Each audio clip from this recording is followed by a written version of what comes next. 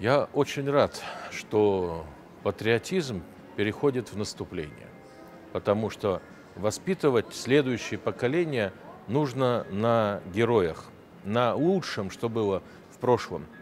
Не надо вымарывать э, стыдные вещи, нельзя забывать ничего, но, конечно, нужно гордиться героями и э, на них э, мерить тех, кто э, идет у нас сегодня в школы, в вузы.